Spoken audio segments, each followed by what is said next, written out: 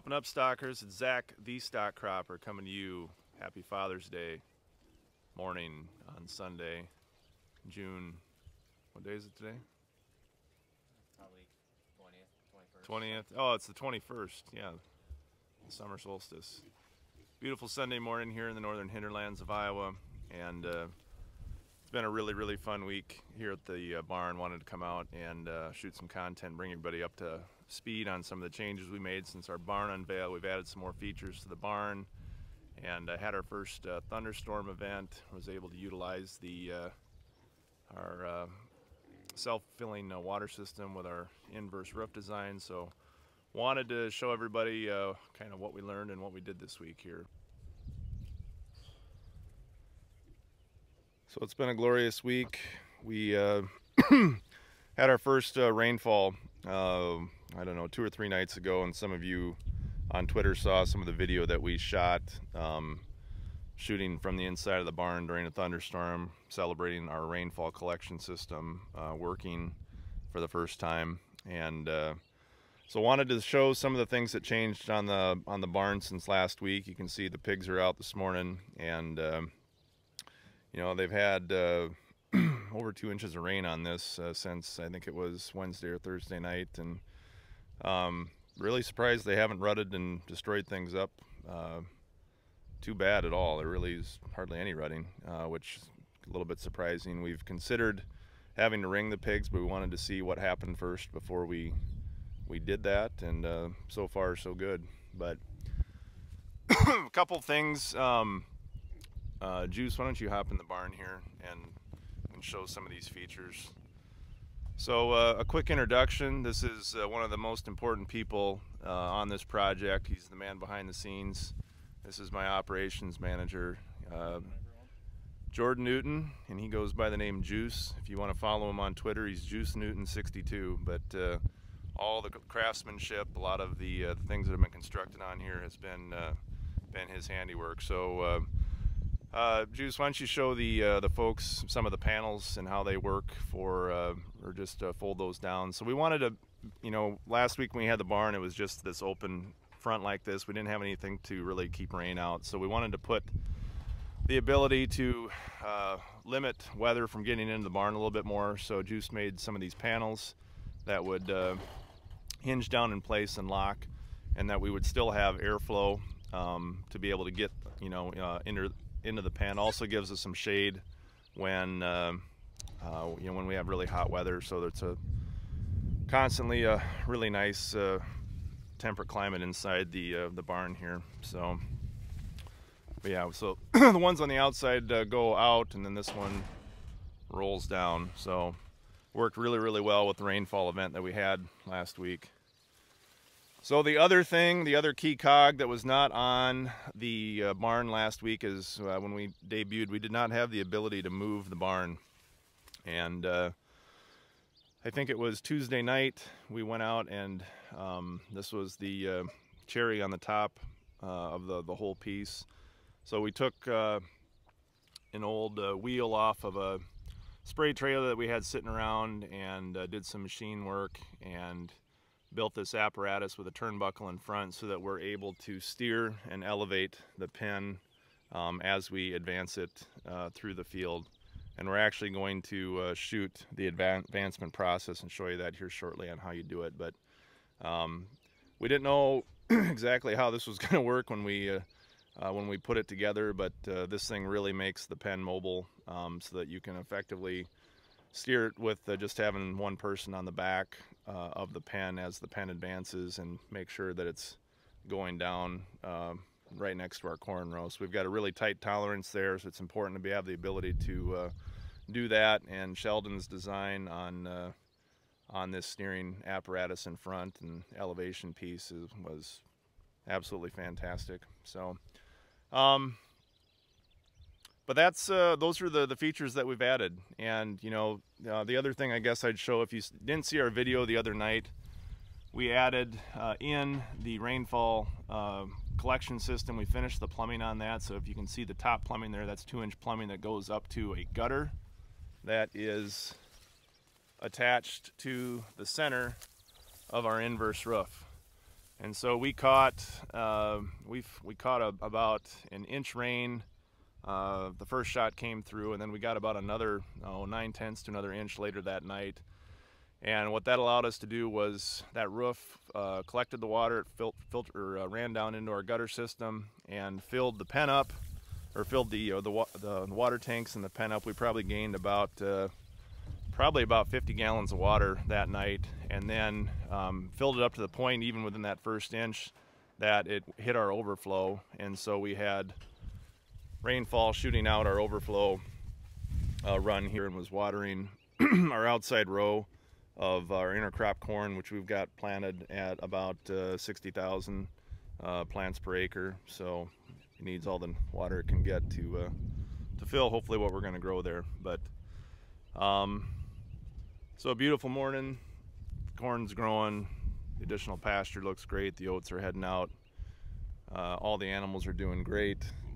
Um, chickens look absolutely fantastic. We added uh, this apron netting around the outside of our chicken tractors this week, and that allowed. Um, we had a lot of people saying, "Oh, you're going to lose all your chickens to predators," blah blah blah, and we're like, "Well, we'll put a apron netting around the outside to hopefully avoid that." So we've had uh, zero predator activity. We got some game cams up uh, just in case to to know if something does come in and screw with us at all, but. Uh, this has been an unbelievably uh, really smooth first week of operation and it's uh, just kind of gets more fun each day so I think what we're going to do now is uh, it's that time of the morning um, we need to get back to our families here so we're going to advance the pen and we're going to show you just how we do that not only is Juice a, uh, a great fabricator of things uh, the animals love him and uh, the pigs want to to be with him all the time right Juice yep. so Juice is going to move uh, move the pigs in here. So when we move the barn, um, the idea is that uh, we want to have all the animals enclosed up on our piggy pad suspended floor. So I haven't talked about that, but the, the barn has a raised floor so the animals can be off the ground, out of the mud if need be in inclement weather. So if it got too muddy or they were rutting stuff up uh, in the mud, we could shut them up and they'd still have access to feed and water in here. So Jordan's going to uh, to move the pigs in, and then we've got our cute little barn door that will uh, allow them to uh, to be shut in. So sheep took themselves in, and the goats. So we close them up. And then one of the beautiful features of this pen is that we don't want to mash our pasture down when we advance the thing. So we have this pen pinned so that we pull a couple pins and uh, Hercules Juice Newton flips the uh, the pen up. Oops, hold on. Just about lost my finger there. There we go. And so now the pen uh, is able to move and ready to move through the pasture. So the way that we advance this thing is with um, a winch that we have uh, on a classic case tractor located at the end of the strip and I'm going to take you down and uh, show you that setup here. So about 300 feet down that way is uh, the mobile barn and uh, we wanted to have a way to move this thing so that uh, the pasture was not run down. You know, the easiest way would have been to hook it up with just to a, you know, a, a tractor or something and drag the barn through this first year for the, the test experiment. But instead what we did is we had uh, my dad's old tractors that we just had sitting in the shed that we really don't use anymore. This glorious 2590 case that I grew up uh, doing a lot of stuff in. And, uh, you know, when you're on a budget and you're trying to figure out how to experiment, you just make do with what you have. And so I had this winch on my Montag uh, fertilizer cart for strip till that I didn't use uh, anymore with anhydrous. And so we ripped that off of the Montag and uh, Juice Newton uh, fabricated a, uh, a, hitch mount to go on the drawbar and uh, we made this little battery mount so we've got battery power here and Juice has got the switch and it's as easy as hitting the button. Hit it.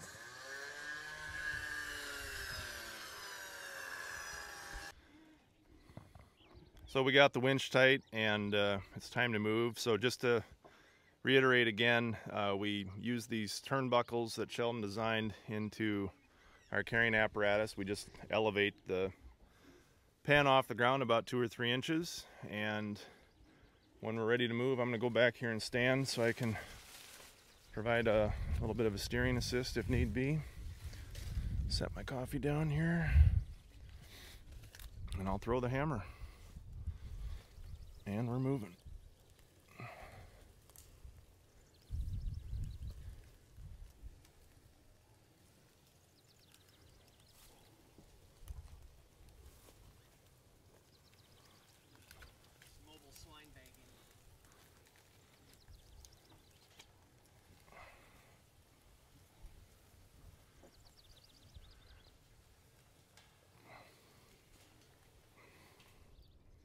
And just like that, pigs have new pasture in the back. Got some oats to chow on.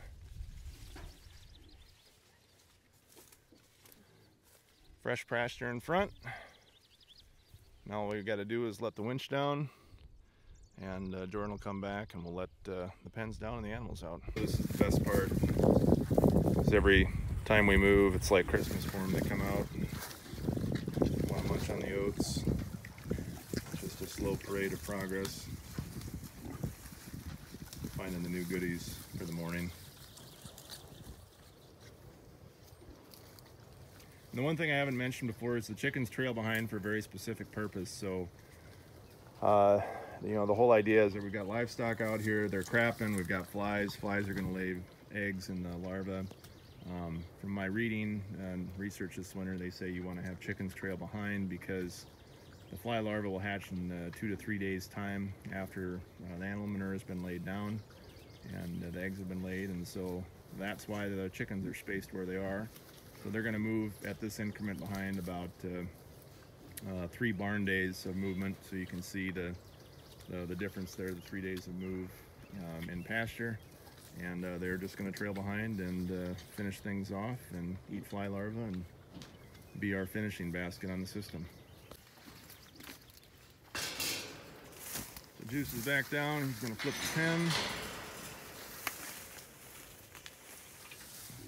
Get some slack into the winch.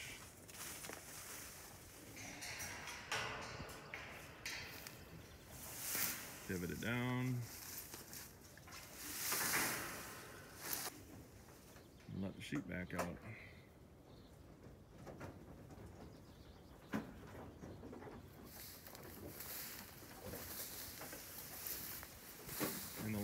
Go to work.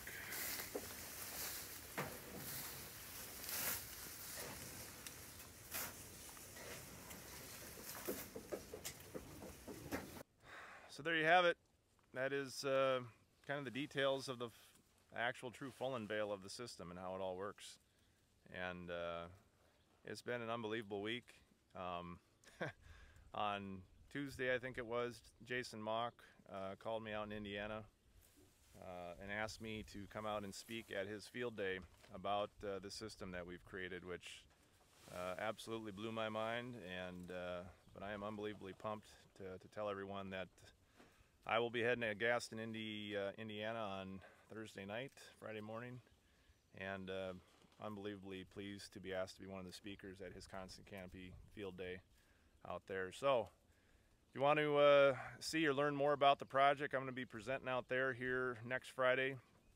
Um, I think uh, I think the event starts at one o'clock, and uh, if you folks want to sign up, uh, go check out uh, Jason's website, constantcanopy.com, and I think there's an Eventbrite RSVP thing to uh, to let them know you're coming. But it's been a crazy week with this project, and we've learned a lot already and we're looking forward more to what's to come. And really looking forward to uh, to meeting and sharing uh, our experiences with more people um, out east later this week. So that's it for this week. Uh, thanks for watching. Everybody have a happy Father's Day. Take care.